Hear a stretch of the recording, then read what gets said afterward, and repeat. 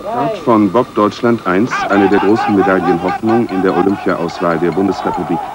Wolfgang Zimmerer, Olympiasieger von Sapporo, und Manfred Schumann sichern sich mit diesem Lauf die Silbermedaille hinter dem Bob DDR 2 mit Meinhard Nehmer und Bernhard Germeshausen, die in vier Läufen insgesamt nur eine halbe Sekunde schneller waren.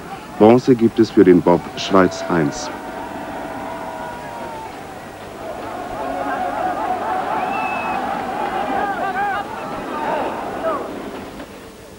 Der Landmaschineningenieur Meinhard Nehmer wurde insgesamt dreimal Olympiasieger und viermal Weltmeister. Nach der deutschen Wende nahm Meinhard Nehmer die Offerte des Bobverbandes der USA an und wurde 1991 Nationaltrainer der amerikanischen Mannschaft. Schon im zweiten Winter feierte Nehmer seinen ersten großen Erfolg als Trainer, als Brian Scheimer bei der Weltmeisterschaft in Eagles, eben hier, wo Nehmer 76 zwei olympische Goldmedaillen gewonnen hatte, den vierten Rang belegte. Der Nehmerschützling Scheimer gewann überdies den Vierer-Weltcup und den Gesamtweltcup.